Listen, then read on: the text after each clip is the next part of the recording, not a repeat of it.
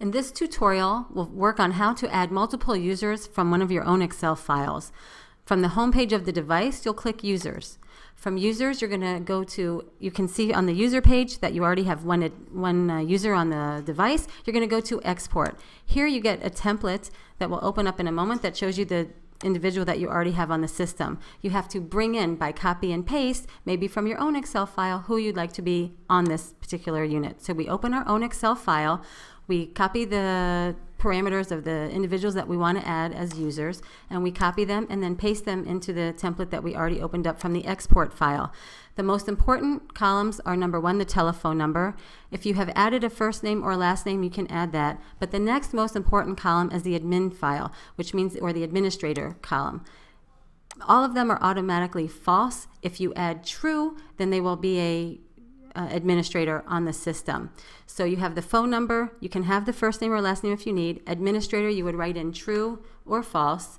True meaning yes, false meaning no, that they are not an administrator. And then you'll go to column H, dial to open. Remember, all of the users are automatically defaulted to a status of being able to access the system via application. If you want them to also be able to dial to open, you need to type in true. Automatically, you don't have to type it in, but you can also type in false if you want it for your record keeping. But a false is no, they can only access via accessing the application. From here, you want to make sure you click Save. Once you've clicked Save, you'll go back, you'll be prompted to the home page. You're going to hit Import. Once you click Import, you're going to choose the file that you just manipulated.